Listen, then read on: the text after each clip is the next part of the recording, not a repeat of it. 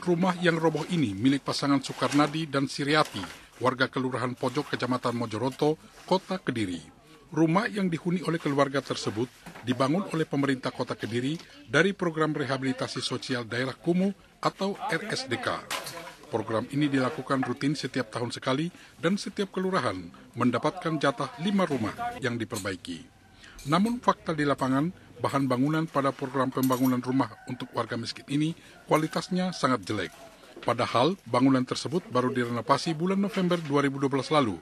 Namun baru tiga bulan telah roboh rata dengan tanah bagian belakang rumah.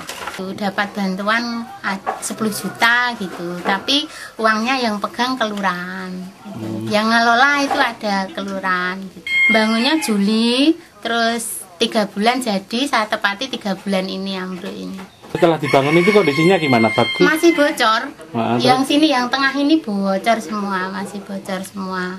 Terus tadi pagi jam setengah nak jam 6.30 itu patah terus ambruk gitu pagi tadi. Kini pemilik dibantu tetangga hanya bisa mengevakuasi barang-barang yang bisa diselamatkan.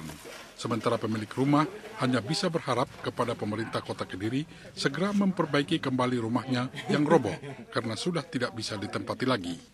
Dari Kediri, Canda Adi Surya melaporkan.